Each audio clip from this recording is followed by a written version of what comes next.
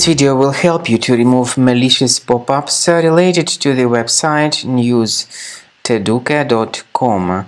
The site news-taduke.com is a dangerous site targeting Google Chrome and other browsers. And this site tries to make you click on allow supposedly to help you continue your browsing. If you mistakenly um, click on the allow button, your browser will be hijacked with plenty of really annoying advertisements. And if you don't want to see them, uh, you need to get your browser definitely and urgently fixed. Uh, if you don't fix your browser, you will keep facing these plenty of pretty junk advertisements. To fix your browser, access the menu, go to settings, select privacy and security in the left part, go down to site settings and then in permissions choose notifications and uh, remove all the junk sites if you find their presence on the list. There may be a lot, long list of such sites and all the junk sites of course should be deleted from this list. There is a software that can help you do that automatically. The software is called Combo Cleaner, so get it on the page combocleaner.com. Use this green download Combo Cleaner button, uh, install the program and start carefully researching the system to detect and then eliminate all other infections which might still possibly stealthily remain on your computer.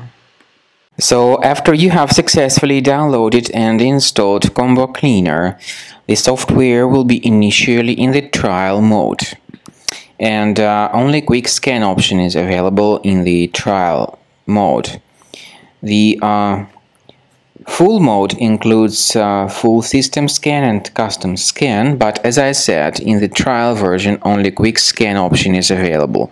So you need to click on the start scan button and uh, most likely the application will uh, first of all update its anti-malware database and uh, by the way this is a very essential step so do not skip it uh, do not cancel the update procedure and then the scanning will begin uh, uh, it may take some time, of course.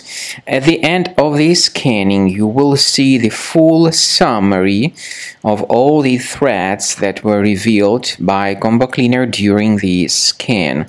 Some threats may be related to uh, the browser-related issues.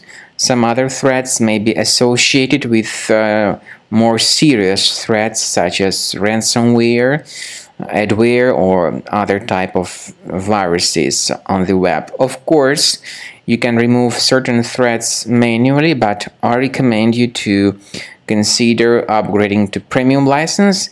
Uh, this is the best way to keep uh, all your uh, files protected and to keep your entire computer free of uh, any other possibly hidden threats.